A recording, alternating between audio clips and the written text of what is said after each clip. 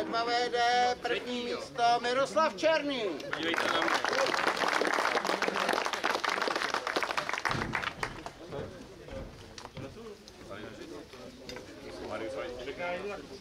Thank you.